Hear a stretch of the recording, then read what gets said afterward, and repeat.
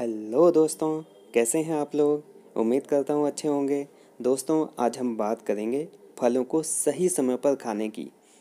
दोस्तों, फल हमारे लिए बहुत फ़ायदेमंद होते हैं, पर सभी फल की अपनी अपनी कुछ खासियतें होती हैं, जिसे हम ज़्यादातर नहीं जानते और इसी वजह से हम फलों का गलत समय पर भी सेवन कर लेते हैं, जिस वजह से हमें फ़ायदा तो नहीं होता, उल्टा हमें नुकसान हो जाता है।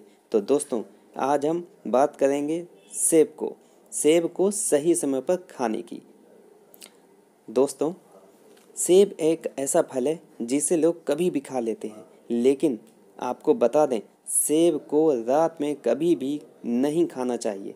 दोस्तों, रात को सेब खाने से हमारे शरीर में एसिड ज़्यादा बनने लगता है। रात को अगर एसिड बनेगा तो डाइजेशन की समस्या हो सकती है, पेट की कोई भी बीमारी हो सकती है। दिन में आप कभी भी सेब खा सकते हो, लेकिन रात को सोते समय सेब को हमें बिल्कुल नहीं खाना है, जो हमारे स्वास्थ्य के लिए अच्छा ना हो। दोस्तों, कुछ लोगों को देखा गया है कि सेब तो खाते हैं, पर उसका छिलका वो उतार देते हैं। अंदर के सफ़ेद सफ़ेद भाग वो खाते हैं सेब का।